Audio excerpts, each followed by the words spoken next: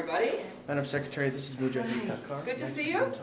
First of all, Madam Secretary, welcome to Afghanistan. Thank you. I'm very happy to be back here. Yeah. Madam Secretary, you are traveling uh, to, to Afghanistan, in a, which Afghanistan is a very, uh, in a very critical stage. On the one hand, the Afghanistan relation with Pakistan uh, is in trouble, and with Iran also we have some difficulties. Uh, what do you think? Somehow, the, the, the, how much it might be make difficult for, for the United States, or how much impact it have over the U.S. mission in Afghanistan? Well, first, I think what I uh, believe is that progress has been made in Afghanistan. We're sitting here talking in a way that was unthinkable uh, 10 years ago. There have been great advances on behalf of women and human rights, education, healthcare, so much else. But there's also a very clear uh, need to uh, continue fighting those who would undermine this progress. At the same time, though, we know that there is no uh, military solution to bringing peace and stability to Afghanistan. So we have to do three things simultaneously. We have to fight, we have to talk, and we have to build.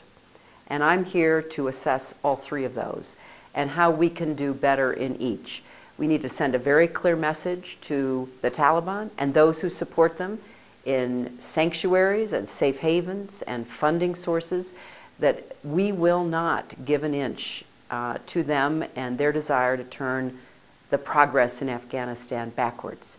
Yet we also need to reach out and talk with those who are willing to reconcile on the three terms that have been laid out renounce violence, break with Al Qaeda, and respect the laws and constitution of Afghanistan, including protecting the rights of minorities and women.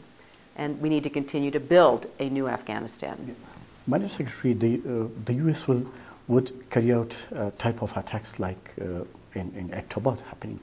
Uh, do you think, uh, because most people in Afghanistan think that, that after the attack on the U.S. embassy and, and especially the statements that which was made in, in the United States that the Haqqani network is close to the uh, to the ISI, would you think the U.S. will carry out these type of attacks?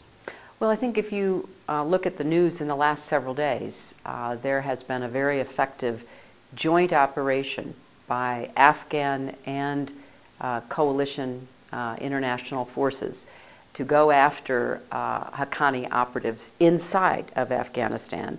And there's also been efforts to target those who are leaders inside the safe havens in Pakistan. This is not an either or problem.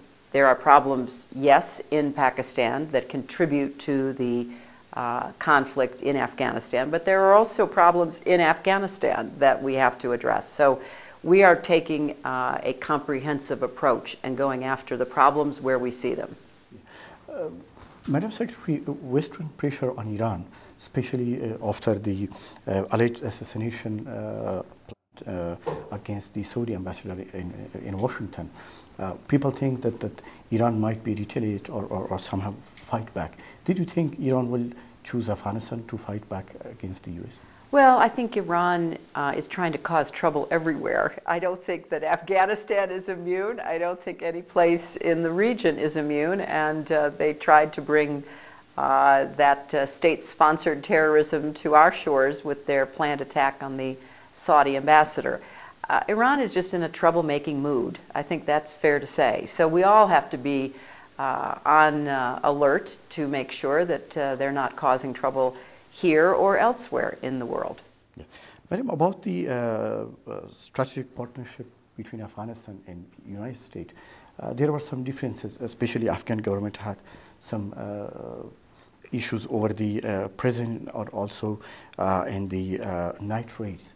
So did you think there is any progress on these issues? Oh, I think we are making progress because uh, the strategic uh, partnership document covers a, a, wide range of issues that are important to the enduring uh, partnership between the United States and Afghanistan.